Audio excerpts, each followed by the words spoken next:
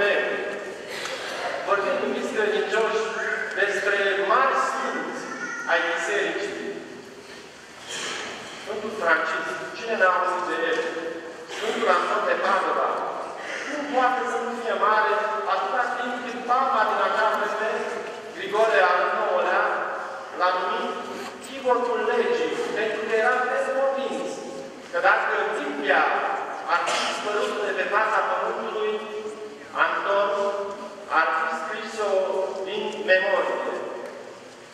Același papă Grigore al IX-lea începe în anul 1228 să țină niște predici pentru postul mare. Și ciudat, vin foarte multă lume la aceste predici, din diferite părți ale Europei, fiecare om îl auzea pe Sfântul Anton în limba sa. Exact cum s-a întâmplat la Rusală. Anton moare pe 13 iunie 1231 la porțile orașului Padova. La un an după aceea, același Sfânt Părinte care îl cunoscuse bine, în 1232, la Spoleto, un orășel puțin mai la nord de Roma, îl declară Sfânt. Chiar în ziua de Ierusalim, din acel an. Și ce este ciudat? Că la Lisabona, în Portugalia, acolo unde s-a născut Anton, clopotele au răsunat fără să fie trase de nimeni, în momentul în care Papa îl declara Sfânt pe Anton de Padova. Venim în secolul al XX-lea, în 1946, și iată că Papa Pius al XII-lea îl declară pe Anton de Padova doctor al Bisericii, învățător al Bisericii, cu titlul de doctor evanghelic, doctor al Evangheliei. Acestea sunt principalele repere din viața Sfântului Anton de Padova. Câteva date. Dar, dacă ne gândim bine, acest om a trăit doar 36 de ani, dar a făcut o mulțime de miracole. Și trec astfel la răspunsul la a doua întrebare. De ce este el atât de faimos, de vestit, recunoscut? Evident, datorită minunilor, nu degeaba se mai numește Sfântul Minunilor. E ciudat, dar câte am studiat, doar două țări îl au pe Anton de Padova ca și patron. Evident, Portugalia, țara sa de maștină și apoi Brazilia. Poate nu întâmplător a câștigat aseară. Sau poate nu întâmplător are cinci puteri mondiale în istoria sa. Nu știu. Cert este că orice om, orice comunitate care are de Anton de Padova ca și patron, o duce bine din punct de vedere spiritual și deseori și material. Pentru a vă informa asupra minunilor Sfântului Anton, am mers și am accesat mai multe site Primul care mi-a apărut a fost chiar site-ul parochiei Sfântul Anton de Padova din Constanța. La data de 13 iunie 1997, Părintele Paru de atunci, Părintele Ștefan Nemța, a înființat un registru deosebit care se numește Contica de Mărturii. Am vrut să vă citesc de ceva dintre aceste mărturii, dar cu siguranță în orice parochie romano-catolică o astfel de condică. Dar am fost curios și mi-am spus, oare să fie groasă această condică sau să fie doar primul volum? Și l-am sunat pe Părintele Carol Hancoal, Părintele Ieronim. S-a bucurat mult pentru că și el are la această oră. S-a bucurat mult pentru că de acest sfânt și mi-a zis, nu e vorba doar de un registru oarecare, ci sunt mii și mii de mărturii care ne spun că Sfântul Anton de Padova lucrează neîncetat și ascultă mereu pe cei care aleargă la el. Dar faima pe care și-a dobândit-o Sfântul Anton de Padova provine de altundeva, și anume, s-a interesat iubiți credincioși de realitatea celui nevoiaș. Spun nevoiaș, nu mă gândesc numai la pământ și la însătați, mă gândesc la oamenii care nu sunt împăcați cu ei înșiși și cu Dumnezeu. De aici provine faima Sfântului Anton de Padova, din slujirea aproape. Și haideți să ne întrebăm, dacă ar fi să enumerăm toate minunile de care am auzit, datorate Sfântului Anton de Padova, cred că s-ar face dimineață și tot aici am făcut. Haideți să ne gândim numai la acele persoane care astăzi trec pragul Bazilicii Sfântului din Padova. Dar de-a lungul celor 8 secole sunt milioane și milioane de persoane care l-au venerat, care au fost ajutate de Dumnezeu prin mijlocirea Sfântului Anton de Padova. De aceea, niciodată nu trebuie să precedăm, ci din potrivă, să mergem mereu la El. În orice ocazie a vieții, de bucurie sau de tristețe, de supărare sau de extaz, de suferință. Deseori, iubiți credincioși, noi alergăm la Sfântul Anton atunci când avem de rezolvat ceva sau avem de problemă, să o punem la punct. Și imediat ne înfățișăm în fața statuii. Dar Sfântul Anton s-ar putea dacă i-am mulțumit măcar din când în când. Nu ajunge doar să cerem. Trebuie să știm și să spunem mulțumesc. A treia întrebare. Ce ne învață Sfântul Anton de Padova? O să răspund la această întrebare plecând de la reprezentările care suntem obișnuiți. Îl vedem deseori pe Sfântul Anton de Padova ținându-l în brațe pe Domnul Iisus. Îl mai vedem ținând în mâini Biblia sau ținând în mână crinul.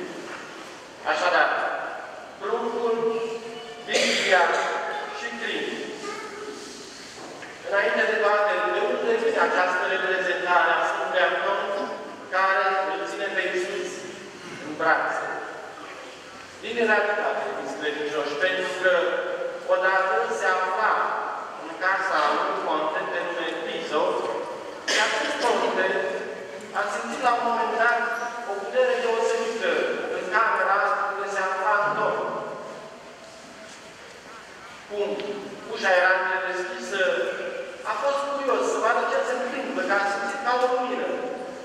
Și în acea clipă l-a văzut pe Domnul Iisus în brațele Sfântului Anton. Dar Domnul Iisus îl atenționa pe Anton, spunându-i, vezi că Domnul Conte ne privește. Iată, sunt lucruri care s-au întâmplat. Anton i-a cerut acelui conte Piso să nu spună nimănui. Dar după moartea Sfântului în 1231, contele Piso s-a gândit că face mult bine omenirii dacă dezvăluie acest secret. Și iată până în ziua de astăzi pe Sfântul Anton cu pruncul Iisus în brațe. Dar nu ajunge să ții pe Iisus pe brațe. Trebuie să-L asculți. Trebuie să privești. Și cum să nu asculți de un copil? Vedeți la dumneavoastră, dragi părinți, mame și tati, deseori ascultați de copiii voștri, poate prea mult. Așa face Sfântul Anton. Ascultă de Dumnezeu, de Iisus, chiar dacă este prunc. Și adevărul e că greu reziști în fața unui copil. Cum să nu-L asculți. Spuneam la început că Domnul a dorit să moară martir. Dar iată că Dumnezeu i-a schimbat planul. S-a slujit de el în absență. L-a făcut mare predicator și a ascultat. Chiar dacă dorința de a muri martir l-a urmărit poate toată viața. Dar ascultarea este mai importantă decât dorința proprie. Spuneam despre Biblie. Sfântul Anton este reprezentat deseori cu Biblia în mâini. Cum ziceam, o știa mereu. Dar nu doar ca memorator, ci a și aplicat.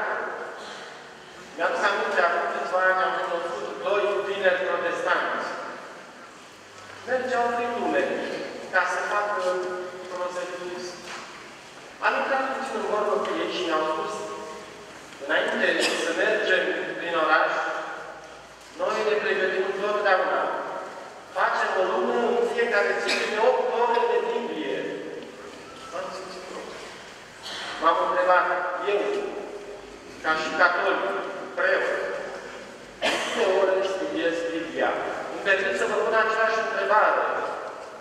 Cât de mult insistăm asupra studiului Bibliei? Dacă poate, sau poate acum deja prea. Cine știe? În secolul IV, înainte de Hristos, a trăit unul dintre cei mai importanți oameni ai de lume Demosteni, un mare orator. Odată, acest Demosten a fost chemat ca să facă pe avocatul, pentru că un domn era acuzat de crimă, dar acest domn era nevinovat. Demostene și-a început în fața judecătorilor toată apărarea, dar după câteva minute și-a dat seama că fiecare era ocupat cu altceva. Nu l-a ascultat nimeni. Unul moțea, alții doi vorbeau între ei, altul era schimb și așa mai departe. La un moment dat, Demostene a strigat puternic. Atenție! Toată lumea a fost atentă. Și Demostene a continuat. Odată, un om voia să meargă de la Atena la Megar, vreo 40 de kilometri, între aceste două localități, și cum a dat ceva bagaj, a închiriat un măgar. A dat stăpânului măgarului cum așteptă și a plecat la Cruz. A început să meargă pe măgar, dar fiind soare,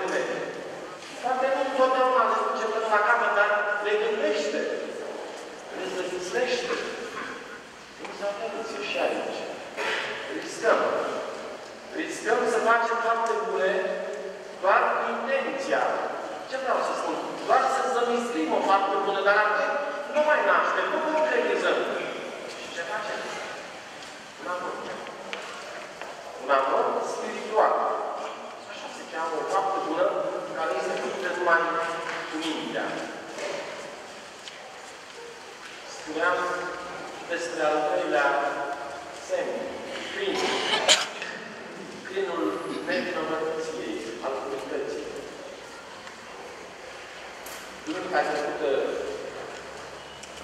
am vorbit cu o persoană, un domn în vârstă, care în 1989 este văduv.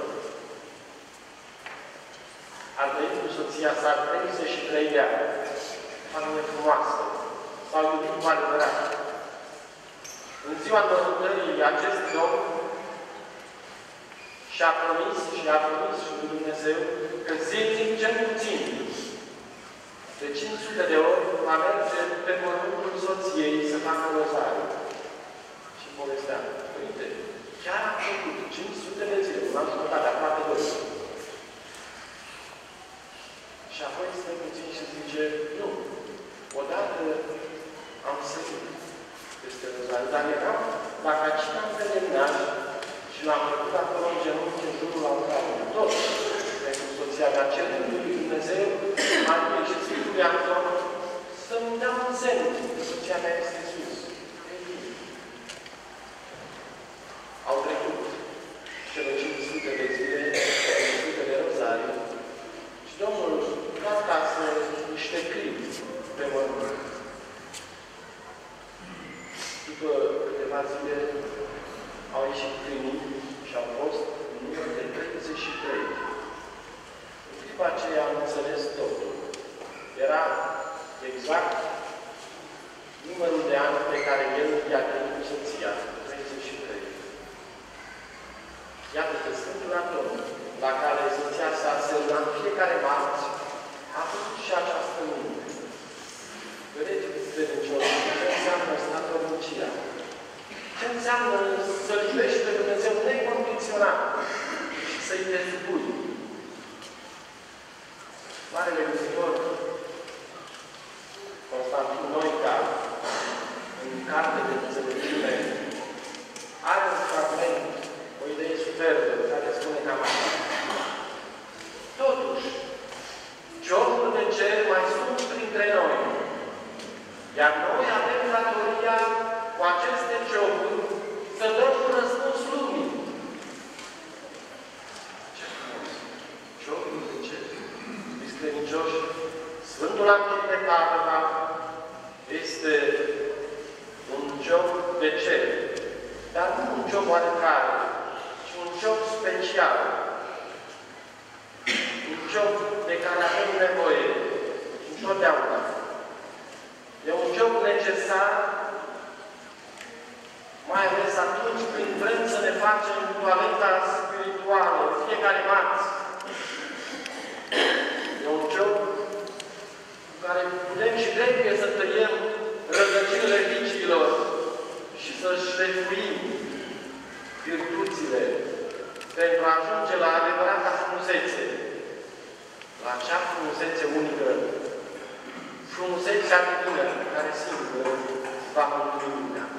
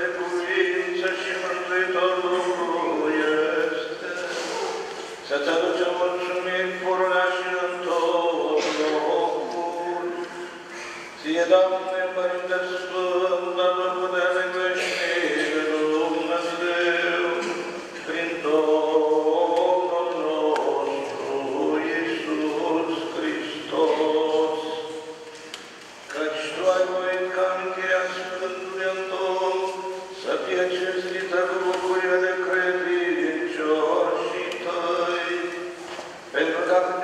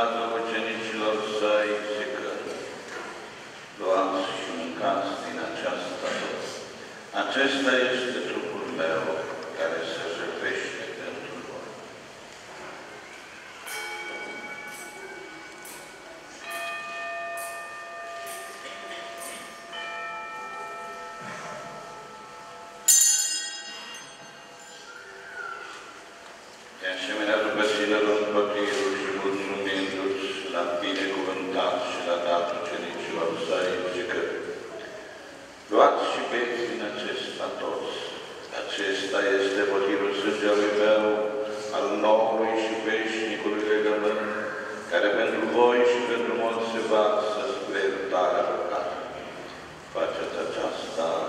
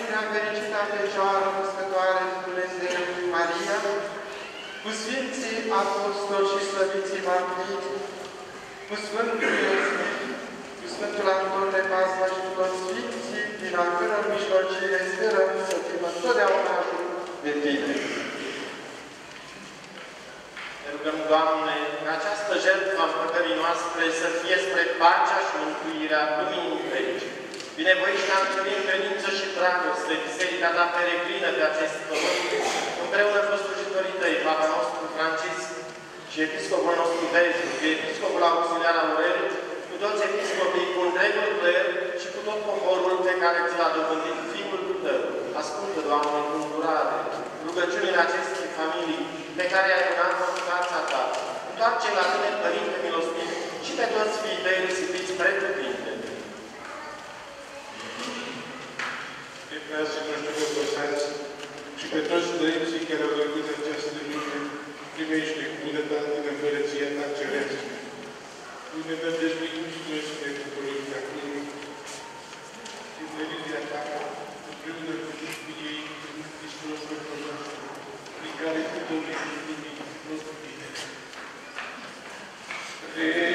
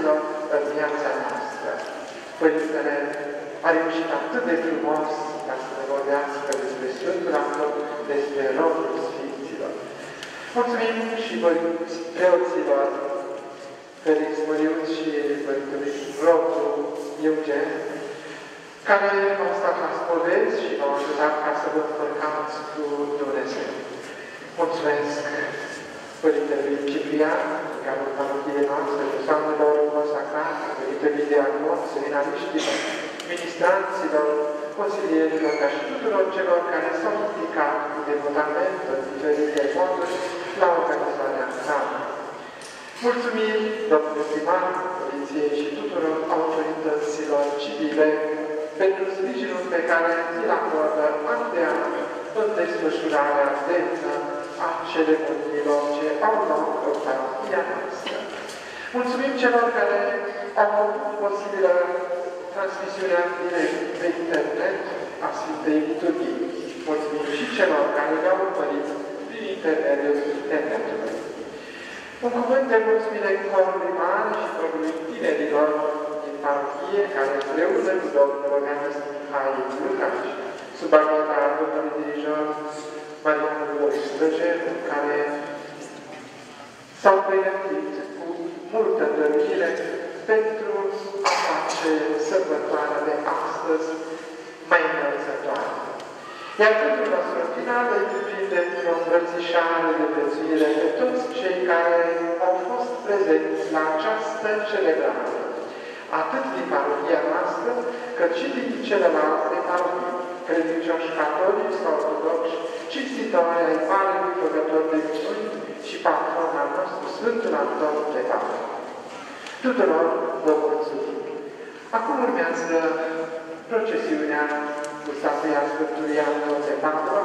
În față merge crucea procesională, însoțită de ministranți. Icoanele, copiii de la care au au făcut prima Sfântă Împărtășanie, statuia Sfântului Padova, preoții, corul și tot poporul după procesiune, urmează binecuvântarea finală